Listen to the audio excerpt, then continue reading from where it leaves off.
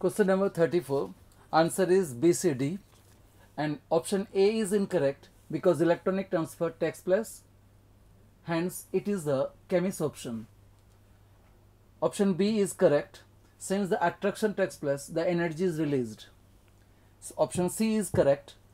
O2 will accept the electron from metal into its pi star to pure metal according to the MO theory. D is correct Since the electron enters into the pi star to pure metal, the bond order decreases, hence the bond length increases. And the answer is BCD.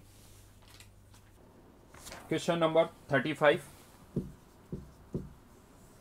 Van der Waals equation के अंदर जो van der Waals constant है ए और b a Van der Waals force Van der Waals attraction को represent करता है और van der Waals constant b जो है रिपल्सिव फोर्सेस को रिप्रेजेंट करता है।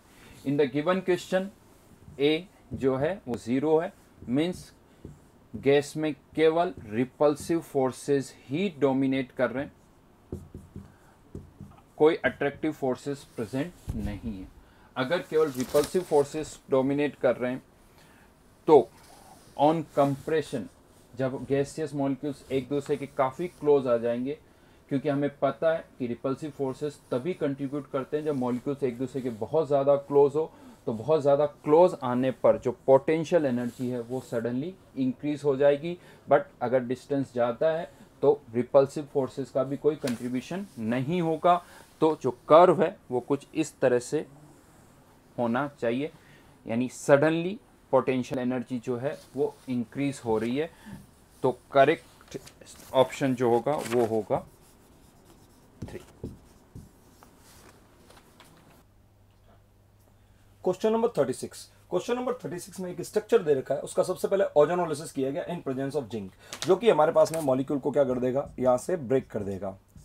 एरोमेटिक रिंग के डबल बॉन्ड नहीं टूटते हैं, क्योंकि एरोमेटिसिटी लॉस हो जाएगी, इसलिए वन इक्विवेलेंट ओजोन है, वो सबसे पहले क्या करेगा? बाहर वाले डबल बॉन्ड को पहले ब्रेक करेगा। एक्सेस में ओजोन डाल दो तो रिंग की एरोमेटिसिटी ब्रेक करके भी यहाँ पे ओजोनोलिसिस हो सकता है। ठीक है, सबसे पहले हमारे पास बनेंगे दो एल्डिहाइड प्रोडक्ट उसके ऊपर से ये एल्डिहाइड ज़्यादा इलेक्ट्रोफिलिक है, ये एल्डिहाइड कम इलेक्ट्रोफिलिक है, क्योंकि वो बेंजीन से रेजोनेंस कर रहा है। इसलिए अगले स्टेप में अमोनिया का मॉलिक्यूल इस एल्डिहाइड पे अटैक करेगा। ये जो रिएक्शन है डाई कार्बोनाइल कंपाउंड के ऊपर अमोनिया का अटैक पॉल नॉर रिएक्शन कहलाता है, और इसके अंदर सबसे पहले अमोनिया अटैक करके इमीन बनाएगा जो इमीन बन जाएगा, वो as a nucleophile another aldehyde के ऊपर क्या करेगा? अटैक करेगा। उससे हमारे पास में एक इंटरमीडिएट प्रोडक्ट बनेगा, जो आगे डीहाइड्रेशन करके फाइनल प्रोडक्ट ये वाला बनाएगा। और ये प्रोडक्ट हमारे पास में आंसर नंबर ए में दे रखा है। इसलिए क्वेश्चन नंबर जो हमारे पास में 36 है, उसका आंसर है ए दैट्स ओके